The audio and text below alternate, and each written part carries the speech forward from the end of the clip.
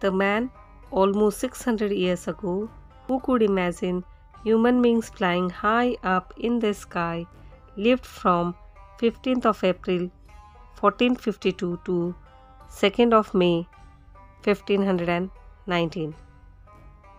He was an Italian polymath, painter, draughtsman, scientist, theorist, sculptor, and architect. Though known by the ventings round the globe, he visualized how technology could change the world. He conceptualized flying machine as a type of armored fighting vehicles. He also thought of using solar power as energy generators, adding machines for easy calculations, and many, many things more. But he was not a scientist alone. He was basically a philosopher, a psychologist, who knew and believed that science without an understanding of human nature was was like playing with no useful purpose or meaning. His notable works include Mona Lisa, The Last Supper, Virgin of the Rocks, Lady with an Ermine, etc. As we all know, his imaginations, thoughts, ideas, and visualizations were far ahead of time. But now let us see what were his thoughts that kept him going. How did he see the nature, the world, and human? Let us see how can he inspire us to stay positive in our lives. I have been impressed with the urgency of doing. Knowing is not enough. We must apply. Being willing is not enough. We must do.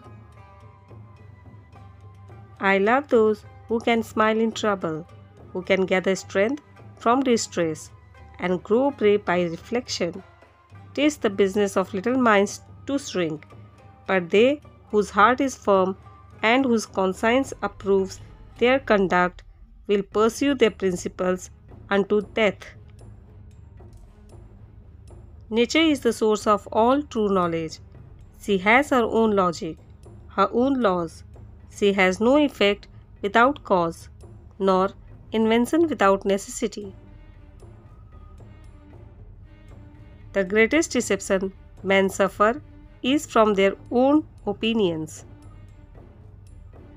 The noblest pleasure is the joy of understanding. Learning never exhausts the mind. Iron rust from disuse, water loses its purity from stagnation. Even so does inaction shape the vigor of the mind. As a well spent day brings happy sleep, so a life well spent brings happy death.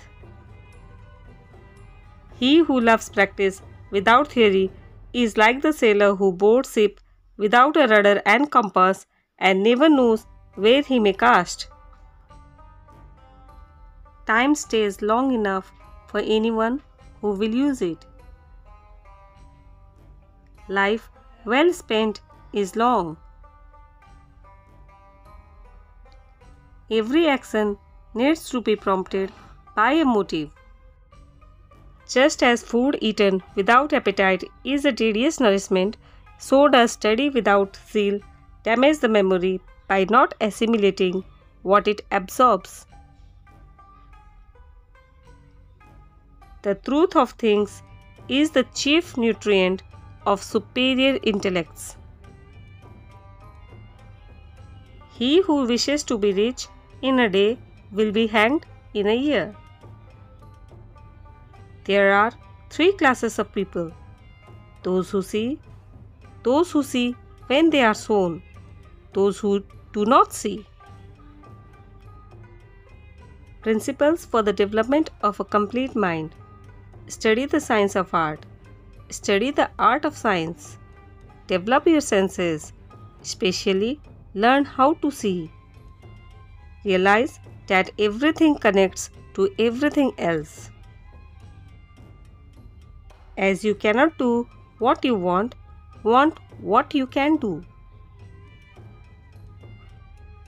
Human subtlety will never devise an invention more beautiful, more simple, or more direct than does nature, because in her inventions nothing is lacking, nothing is superfluous.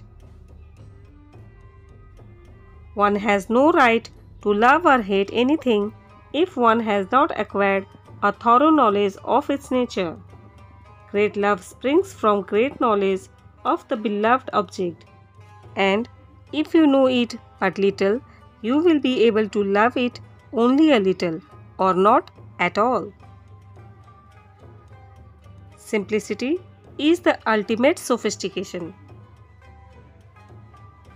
I have offended God and mankind because my work didn't reach the quality it should have.